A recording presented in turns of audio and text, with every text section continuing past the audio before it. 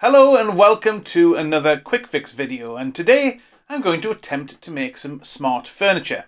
Now you probably are going to say, John, what the hell is smart furniture? And I'm going to say, well, from my research, I can ascertain that smart furniture seems to be some average bits of furniture with some electronics bundled into it, which then gets sold for vast amounts of money.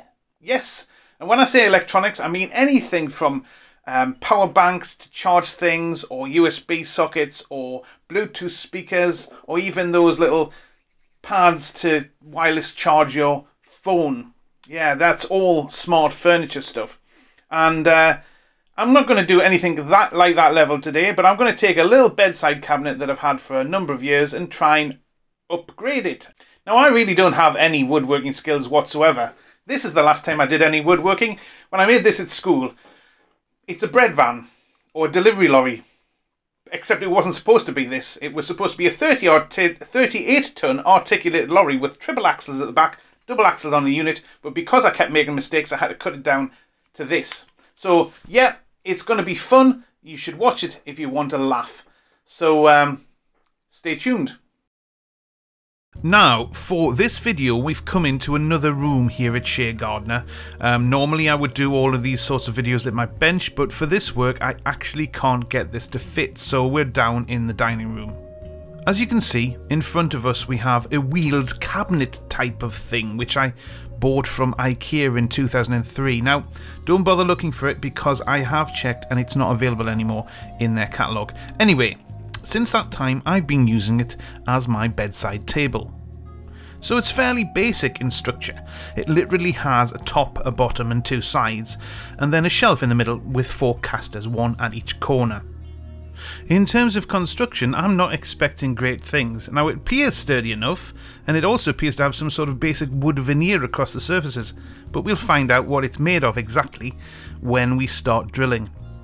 Now, what I haven't actually told you yet is what I'm planning to do with this.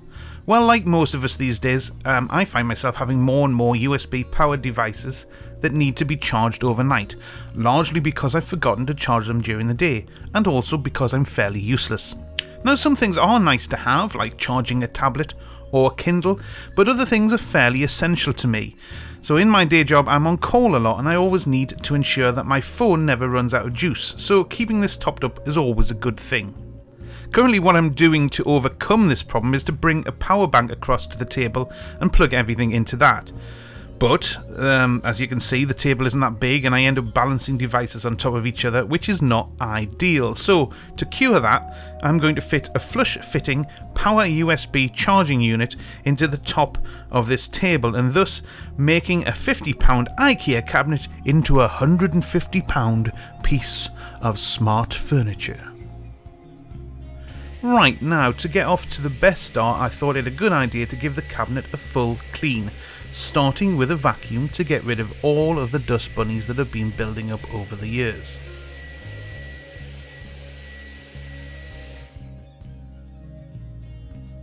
And as we're still in a pandemic, a good wash with a disinfectant solution should finish off the job.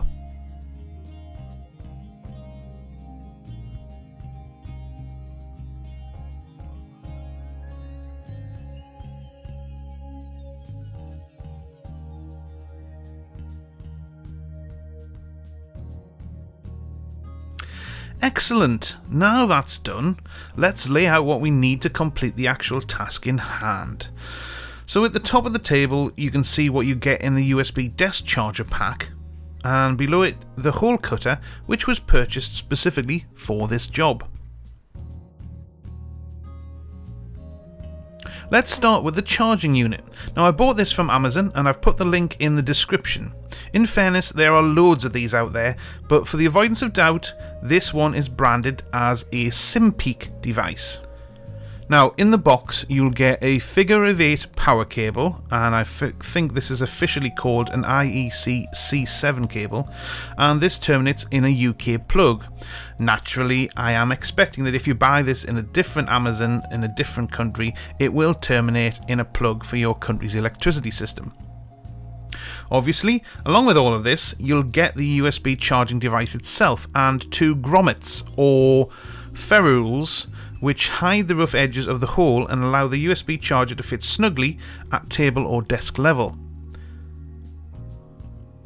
If you've seen any of my DIY project videos before, you'll know that quality isn't what really I'm known for, so it won't surprise you to find that I didn't read the description on the listing when I bought this, and I therefore didn't realise that there were two ferrules in the box uh, for differing sizes.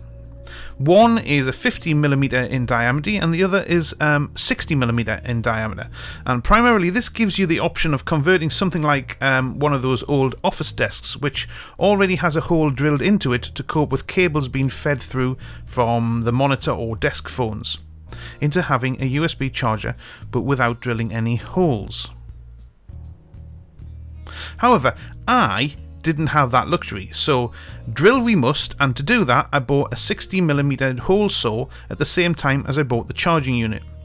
There's nothing really much I can say about this, it's Chinese, you have the centre positioning drill which screws into the hole cutter, and that just fits straight into the drill chuck. So we've been through what extra things we needed to purchase, and now we come to measuring up.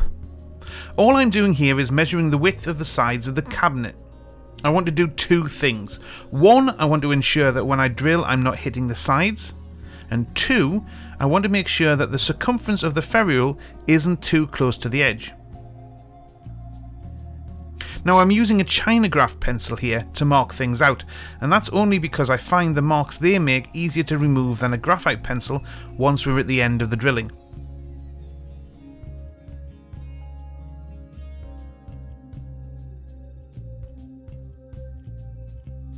Then we mask up the area so we get a smooth cut without any splinters or rough edges. Now that the preparation is done, it's time to start the drilling, and even I know that you start this with a pilot hole. A small hole that gives you a substantial centre point which you can enlarge further down the line.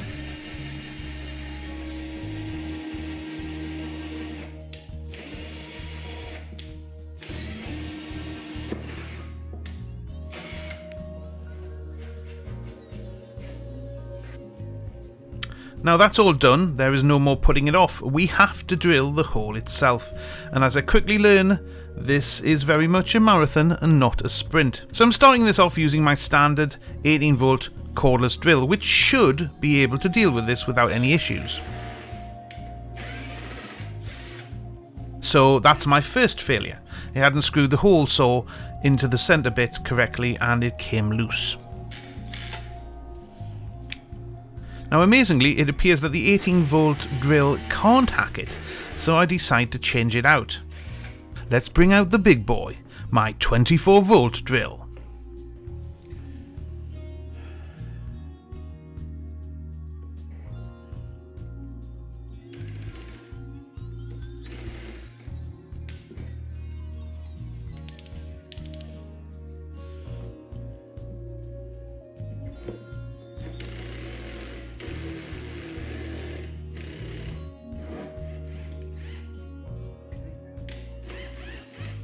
Hmm, still nothing. Even the 24 volt drill fails to make a hole. Now, how can this be? At this stage, I'm utterly confused by this, but to be quite honest, I shouldn't have been, as you'll soon find out.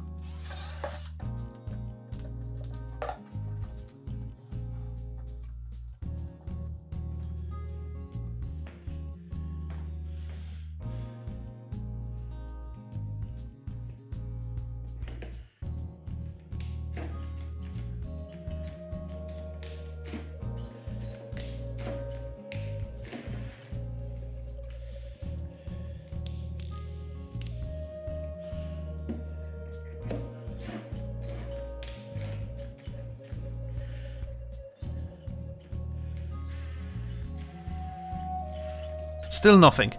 But now I have my revelation. I asked myself the question, John, when did you last charge the battery packs? And that was the problem. I hadn't charged any of them when I used them the last time, so I needed to put them all on charge. But also I needed to take the top of the cabinet off in order to drill from the underside as well, so that was the next step.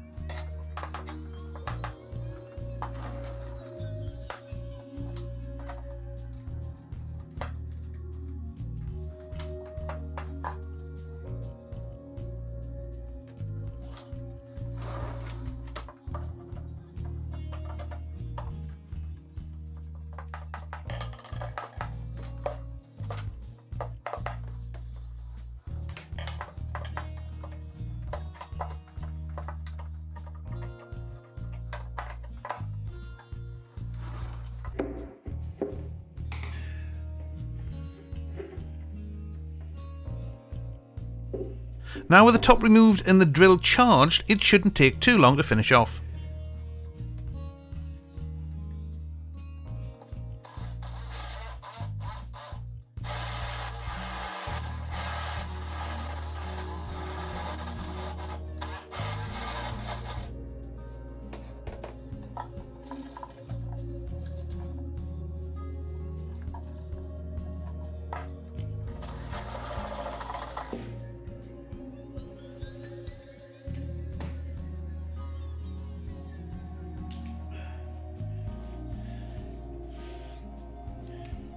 Right, with the hole drill, you can see the makeup of the table in the, in the bit that's been removed.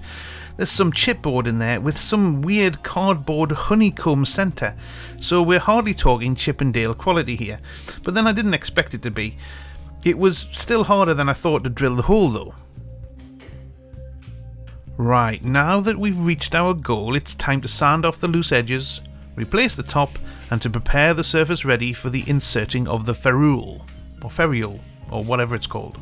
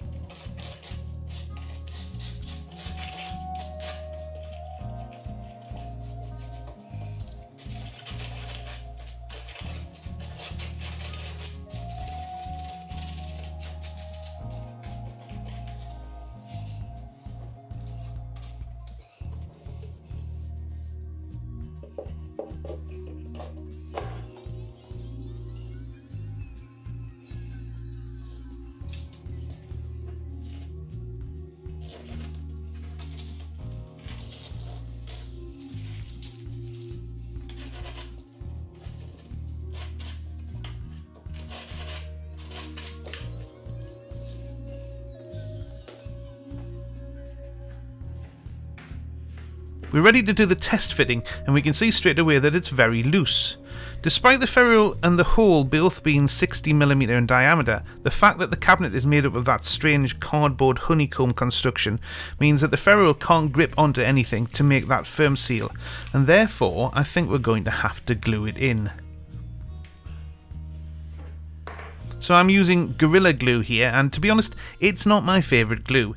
It's runny and claggy, and I always forget that you have to wet the surface for it to adhere, as I did in this case. So later on, I did have to make the surfaces damp and reapply all the glue again.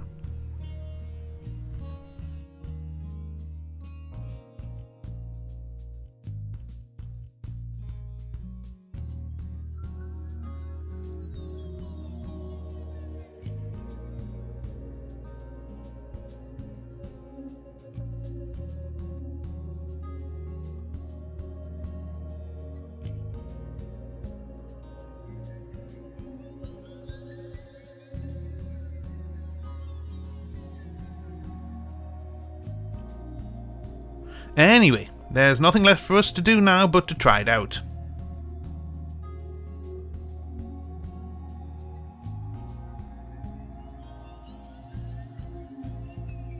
So we feed the power cable through the ferrule, plug it into the charger, and then firmly press the charger flush with the ferrule.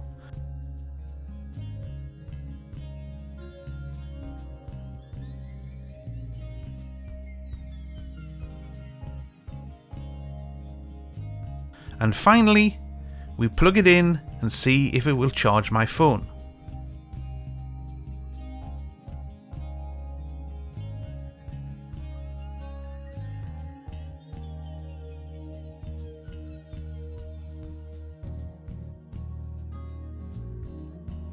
Amazingly, it does, yes. John has successfully done a DIY project. I think I need a stiff drink. So I'll leave you with a successfully completed project and a shot which shows you the cabinet back in the bedroom happily charging my Kindle. If you've enjoyed this video, please like and subscribe and I'll see you next time.